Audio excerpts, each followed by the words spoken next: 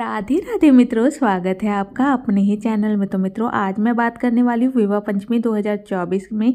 अगर आपके विवाह में विलंब हो रहा है, विवाह में रुकावटें आ रही है तो विवाह पंचमी के दिन आपको कर लेना है ये उपाय। आपको मैं बहुत से उपाय बताऊँगी, उसमें से आपको जो सही लगेगा वो उपाय कर ले।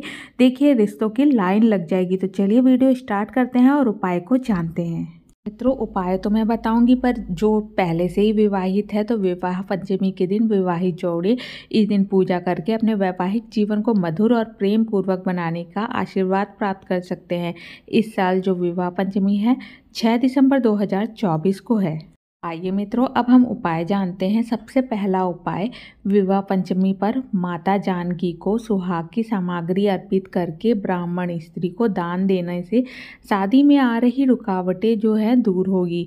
वर या वधु के लिए रिश्तों की लाइन लग जाएगी तो ये उपाय ज़रूर करें।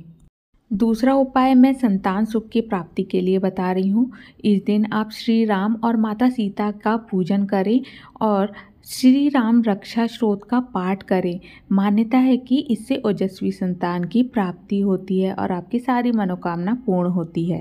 अगला उपाय, रिश्ता पक्का करने के बाद भी टूट रहा है तो विवाह पंचमी के दिन विधि विधान से राम सीता जी की विवाह कराए संभव हो तो इस दिन व्रत रखकर किसी गरीब या ज़रूरतमंद कन्या के विवाह में मदद करने का संकल्प लें। अंत में बहुत ही कारगर उपाय बताने वाली हूँ। विवाह पंचमी के अवसर पर श्री हरि विष्णु और देवी लक्ष्मी को गाय के दूध में केसर मिलाकर अभिषेक करना फलदायी होता है। मान्यता है कि इससे विवाह में आ रही बाधा दूर होती है। तो ये उपाय बिल्कुल करें। रामबाण उपाय है ये। तो मित्रों, कैसा लगा आज का उपाय? कमेंट्स में बताएँ और उपाय ज़रूर कर कर देखें, फिर देखिए रिज़ल्ट आपके सामने है। आप मुझे खुद कमेंट्स कर कर बताओगे कि हाँ वाकई में इससे हमारी जो बाधा है वो दूर हो गई। चलिए इस वीडियो को यहीं एंड करती हूँ। जल्दी मिलूँगी नेक्स्ट वीडियो के साथ। माता रानी की कृपा आप सब पर बनी रहे। जय माता दी। अभी तक चैनल सब्सक्राइब नहीं किया तो बेल आइकन प्रेस कर चैनल को सब्सक्राइब कर लें।